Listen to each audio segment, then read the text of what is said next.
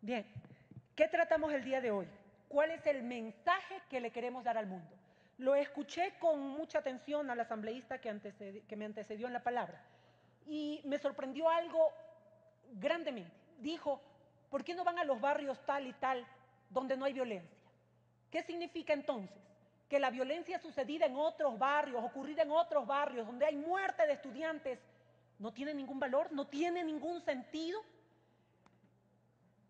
¿Qué es lo que le queremos decir al mundo a través de la resolución que van a aprobar el día de hoy? Que en Ecuador no escuchamos los gritos de los estudiantes muertos en Venezuela o los heridos o los caídos o los que están encarcelados o de sus madres que quedan mutiladas al enterrar a sus hijos luego de haber salido en la mañana a protestar y se los entregan en calidad de cadáver en la tarde o en la noche. La tierra, la tierra de Latinoamérica entera tiembla con cada caído en Venezuela. Y ustedes, por más que se agarren a sus curules con una mano y con la otra se tapen con la izquierda, se tapen la boca respecto de lo que está sucediendo en Venezuela, no van a cambiar, ni le van a devolver la vida a esos estudiantes que pueden o no coincidir con ustedes en sus ideales, pero tienen derecho a protestar, tienen derecho a decir lo que piensa y no tiene nadie el derecho de con una bala hacerlos callar. Aquí pueden aplastar un botón y hacerle creer al mundo que en Ecuador no los oímos. Aquí pueden aplastar un botón y hacerle creer a todos en Venezuela que aquí en Ecuador miramos para otro lado. Pero aun cuando quieran meter la cabeza en un hueco, como hacen las avestruces, miren, señora presidenta, con su autorización, un video que les traje para que antes de votar puedan reflexionar.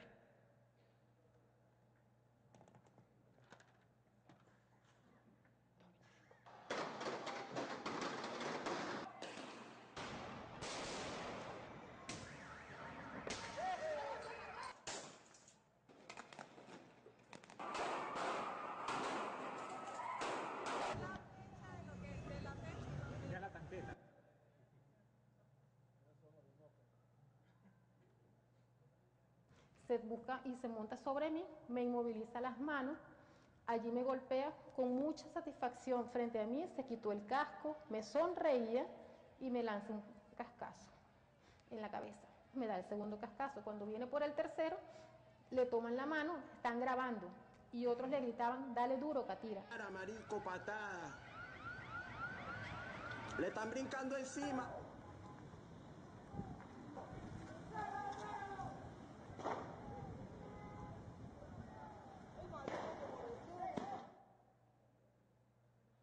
Yo le hice un llamado a la VC, a los consejos comunales, a las comunas, a los colectivos. Candelita que se prenda, candelita que se apaga. Y los colectivos se han portado de manera impecable.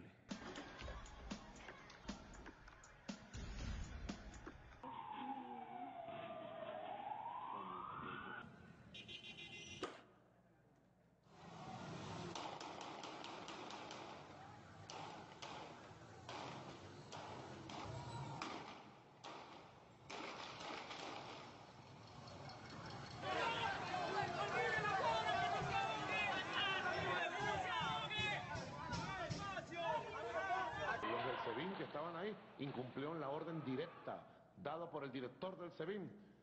De acuartelamiento, nadie salía a la calle, y menos con armas.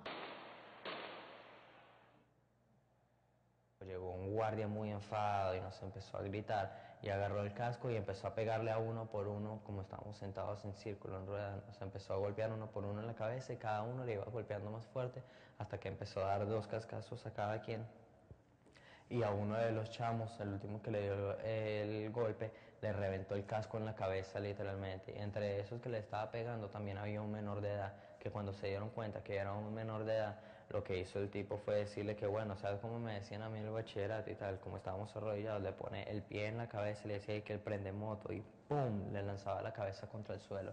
Y le decía, bueno, y eso tiene un doble arranco, ¿verdad? Y le volvía a poner la pierna en la cabeza y se lo lanzaba contra el suelo. Pobre chemito. Ponga la cámara, director, ponga la cámara. Estos jóvenes venezolanos tienen el derecho que se les haga el honor de rendirle tributo porque dieron su vida defendiendo sus ideales.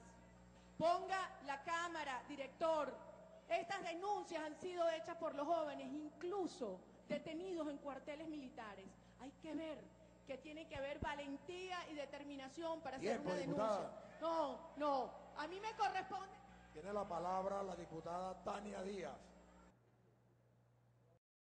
Me van a llamar dictador, no me importa.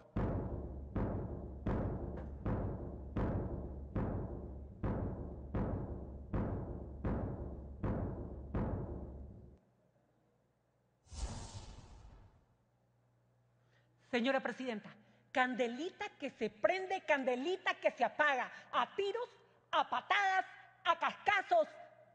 Esta verdad, señores, no la pueden ocultar con una resolución y con sus votos en esta asamblea.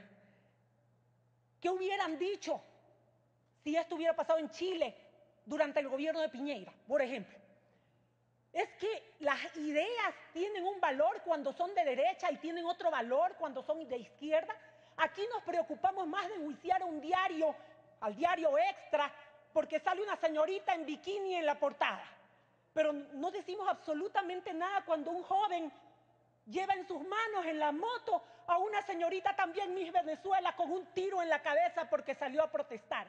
Eso es secundario. Allá ellos. No es con nosotros. Sí es con nosotros, señores. Nadie habla de desestabilizar un gobierno legítimamente constituido. No. Pero tampoco, dada la libre determinación de los pueblos o la no intervención, podemos guardar silencio frente a lo que está pasando con los jóvenes de Venezuela, sencillamente por pensar distinto. Dicen que hay que respetar todo esto por el origen democrático que tiene el presidente Maduro, pero las mismas personas hablan de respetar también un régimen que lleva años en el poder y que dista mucho de ser democrático, como el de Cuba. Desde el 98 estoy en la vida política y para mí la mano de derecha que mata debe ser cortada, como debe ser cortada la mano de izquierda que mata.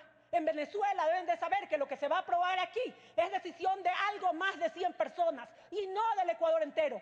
Que el Ecuador entero está junto a los jóvenes que salen a las calles a protestar ya no por subsistencia, ya no por papel higiénico, ya no por comida, que salen por otros valores muy superiores como son la libertad, la justicia y la dignidad.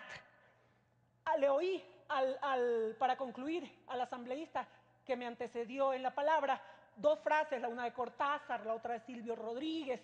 Yo les voy a citar una frase de alguien a quien ustedes siempre recuerdan y citan permanentemente, Bolívar, que dijo que cuando la tiranía se hace ley, la rebelión es un derecho. Muchísimas gracias, señores.